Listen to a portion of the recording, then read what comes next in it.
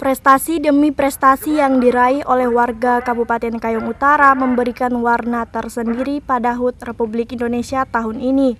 Sebab di perayaan Hari Kemerdekaan Republik Indonesia ke-74 di Kabupaten Kayong Utara, sejumlah warga bumi bertuah memberikan prestasi yang cukup mengharumkan nama daerah. Seperti Daud Yordan yang meraih sabuk juara, ada pula Olimpiade Biologi, dan SDN Betuah yang juga turut menyumbang prestasi.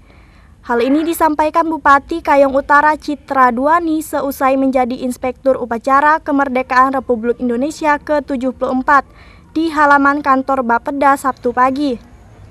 Jadi dengan semangat perjuangan ini semuanya harus berprestasi.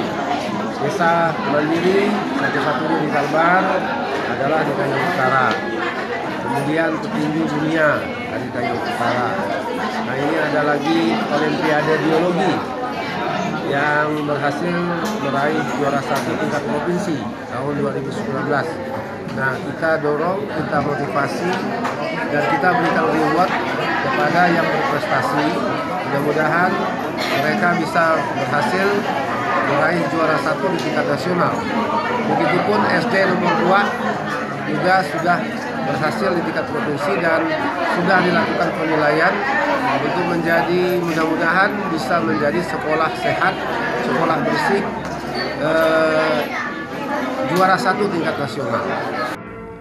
Momentum kemerdekaan ini juga bisa dijadikan pelopor pembangunan khususnya selaras dengan visi dan misi di Kabupaten Kayung Utara.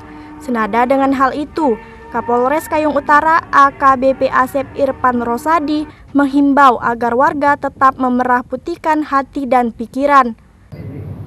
Aturan tidak ada yang menyalahgunakan wewenang dan kami pun menyampaikan kepada mereka bahwa kami dengan Satgas Sabar Pungli dan juga uh, fungsi tipikor kami akan terus memantau dan kami siap mengasistensi jika nanti bersama Bapak Kejaksaan jika nanti membutuhkan asistensi dari kami sehingga mudah-mudahan dengan pencegahan tersebut teman-teman juga akan uh, hati-hati.